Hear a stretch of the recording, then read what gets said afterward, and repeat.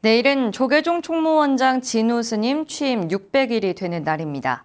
고와 낙이 되풀이되는 윤회를 벗어나 우리를 행복하게 하는 108가지 이야기가 책으로 나왔는데요.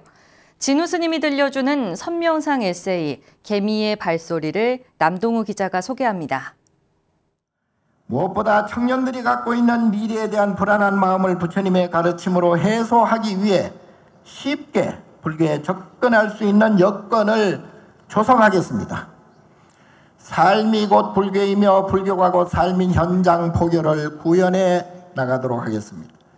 우리 사회 구성원들이 가지고 있는 불안과 고통을 해소하기 위해 불교의 수행 방식을 현대화하여 다가서겠습니다.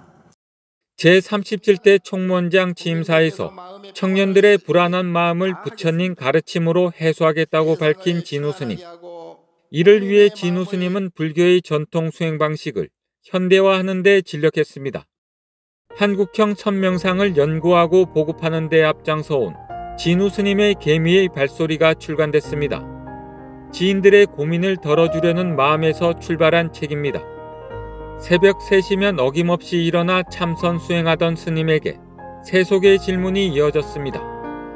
처음에는 문자 메시지를 통해 소통했는데 어느새 개별적으로는 대답할 수도 없을 만큼 질문이 많아졌습니다. 답답한 일이 생겼다며 막무가내로 달려온 신도들에게 답변하려고 준비했던 한 장의 메모지가 이 책의 시작이었습니다.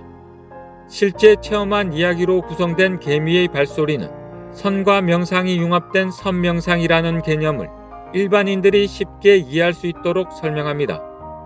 스님은 주변에서 일어나는 일들로부터 감정을 분리할 것을 강조합니다. 기분과 감정에 좌우돼서 좋다거나 싫다고 고락을 분별하게 되면 인과의 업이 생겨나기 때문입니다. 다시 말해 개인의 운명과 더불어 사회의 발전과 몰락은 지금 당장 일어난 기분과 감정을 분별하는 데서 기인한다는 겁니다. 우리는 살면서 감정 에너지를 필요 이상으로 낭비하는데 결국 자신의 운명까지 걷잡을 수 없는 방향으로 흐르게 합니다. 진우 스님은 감정만 다스릴 수 있어도 운명은 저절로 좋은 방향으로 흘러간다며 이것이 우리가 명상을 해야 하는 구체적인 이유라고 설명합니다. 한 호흡 들이쉬며 나와 함께하는 인연을 생각하고 한 호흡 머금으며 내가 행한 일들의 인과를 생각하고 한 호흡 내쉬며 고락의 분별 없는 고요함을 생각합니다. 보시, 시계, 인욕, 정진, 선정, 지혜의 육바라밀과 선명상을 생활화하면 있는 그대로 평안한 마음이 됩니다. BTN 뉴스 남동우입니다.